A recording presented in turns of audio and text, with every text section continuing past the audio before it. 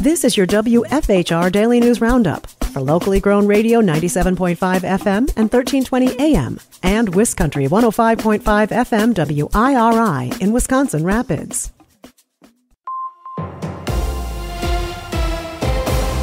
Civic Media News. I'm Terry Bell. Here's what Wisconsin needs to know.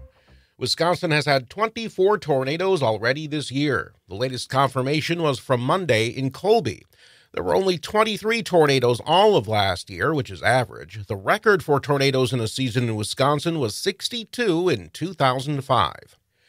Even with high prices, Wisconsin is reporting a record number of home sales so far this fiscal year. The Wisconsin Housing and Economic Development Authority reports 2,700 single family home sales so far this fiscal year. That's more than twice as many in all of fiscal 2023. Former UW La Crosse Chancellor Joe Gow says making online porn is no reason for him to lose his tenured faculty post. Yes, my wife Carmen Wilson and I created a series of sexually explicit videos and books. We did so on our own time using our own money. A disciplinary hearing for Gow is in its second day. Interim Chancellor Betsy Morgan says she's lost all trust in him. My level of trust in the ability for him to be able to be an effective faculty member is very low. And my level of trust for him to sort of protect the university's best interests is low. Gow says he's not being treated fairly. The State Law Library will be renamed for Lavinia Goodell, the first woman lawyer in Wisconsin. Goodell moved to Wisconsin in 1871 and drafted a bill to guarantee women the ability to practice law in Wisconsin, which became law in 1877. The law library was named for former conservative Justice David Prosser.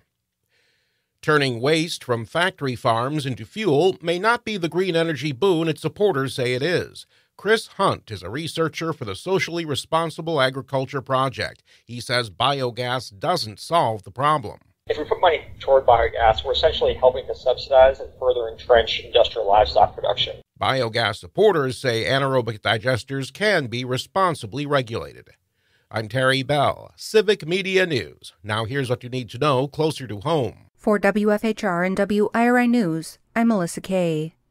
A 27 year old man died after crashing his motorcycle in the town of Carson early yesterday morning. The Portage County Communications Center received the call from an Alliant Energy worker a little after 1 a.m. Wednesday morning. A power outage happened about an hour earlier along County Highway G. The worker found the motorcycle had crashed into a utility pole and they found an unresponsive male near the motorcycle. Responding deputies and emergency units determined the man had been traveling southbound on G, lost control on a curve near Oriole Road, entered the west ditch, and struck the utility pole. The 27 year old man from Milladore was not wearing a helmet at the time of the crash and died on the scene.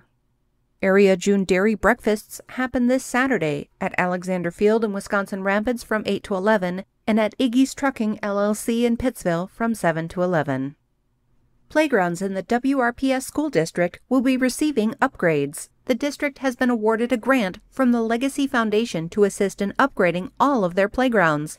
Work will start first with Grant and Mead Elementary, Pitsch Early Learning Center, and the Wisconsin Rapids Area Middle School. Improvements at these schools will be completed by the beginning of next school year. During the summer of 2025, improvements will be done at Grove, Howe, and Washington Elementary and Think Academy. The district is investing 1.35 million into the projects, and Legacy has committed an additional 3.75 million for these upgrades and improvements to the playgrounds. Access to these areas will be limited while work is underway. The Mead Wildlife Center is celebrating 65 years. You can visit the Education and Visitor Center in Milladore on Saturday, June 22nd from 9 to 1 for the celebration. Over 800 children's books were given away during the United Way's Great Book Giveaway. The event wrapped up on the 18th with 301 kids taking home 832 books. These books will help the children stay up to speed on their reading during their time away from school. The United Way of Southwood and Adams counties hosted their 15th annual Great Book Giveaway from June 10th through the 18th. At each event, kids could choose free books to take home and keep as their own. Children who read in the summer are less likely to fall behind when the new school year begins. Need brats? The Central Wisconsin High School Trap Team Booster Club is selling them tomorrow through Sunday to raise money for the Clay Target League Nationals in Michigan next month. You can head over to 998 Ranger Road, June 21st through the 23rd. It's 10 to 5 on Friday and 8 to 5 this weekend. The Independence Day celebration is two weeks from today for the city of Wisconsin Rapids. On Thursday, July 4th, fireworks will be launched from the Wisconsin River in downtown Wisconsin Rapids. DJ Entertainment Engines will start the music at 6 p.m. Food and refreshment vendors will be set up along West Grand Avenue on the west side of the river and on 2nd Street South on the east side. The Wisconsin Rapids City Band will perform outside of the Centralia Center from 7 to 8, and Miss Wisconsin Rapids teen Addison Morin will sing the national anthem immediately before the fireworks begin. The display will start around 9:30 p.m. and will be visible along most of the riverbank and downtown area.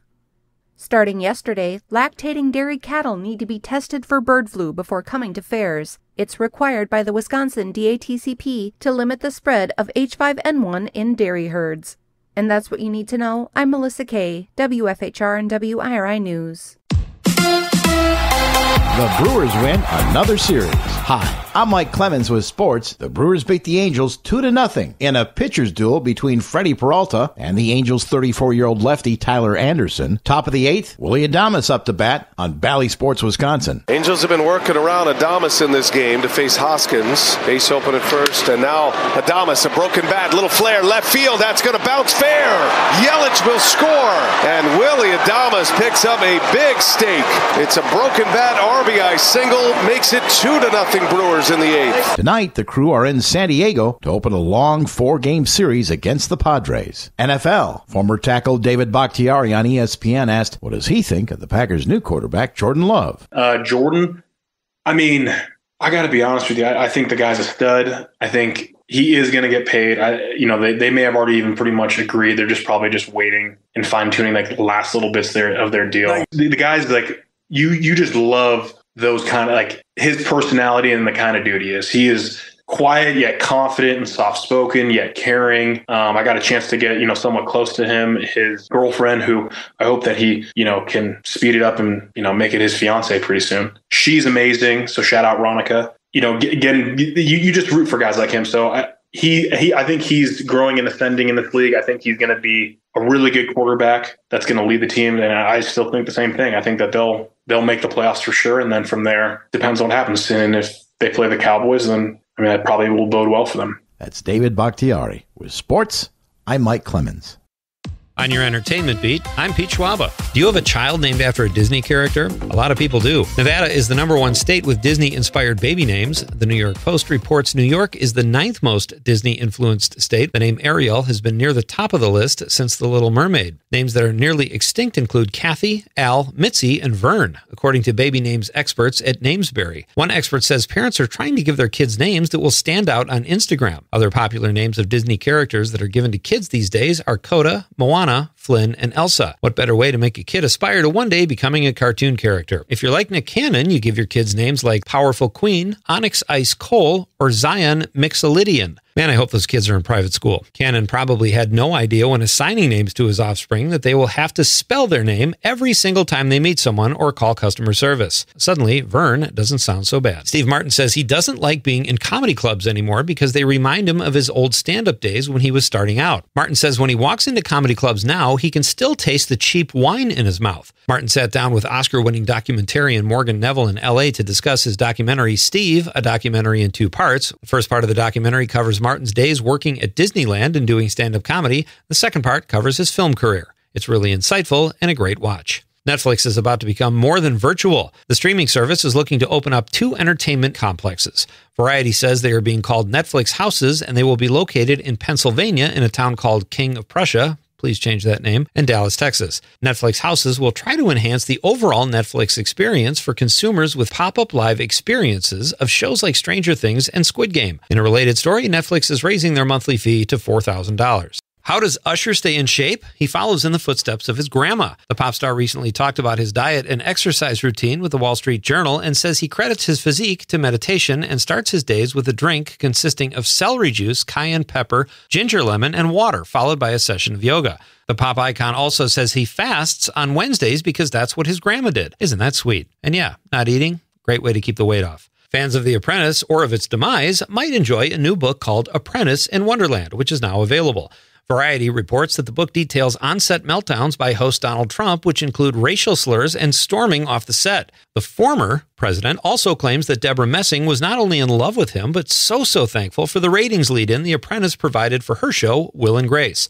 Since Trump said it, it must be true, except that it's not because Will and Grace was on before The Apprentice. For more showbiz fun, tune into Nightlight with me, Pete Schwaba, weeknights from 7 to 9 p.m. on the Civic Media Radio Network. With your forecast, I'm Corey Hartman. Mostly cloudy today, a high near 70 degrees. Showers and thunderstorms are likely this afternoon. For tonight, mostly cloudy, scattered storms, a low of 57. For Friday, showers and maybe a thunderstorm, a high near 72. On Saturday, scattered storms and 78. It's 60 at our studios. That's your WFHR and WIRI Daily News Roundup from Civic Media. Subscribe to this podcast on Spotify, Apple, or wherever you find your podcasts. Find more news at WFHR.com or Wiscountry, that's W I S country.com.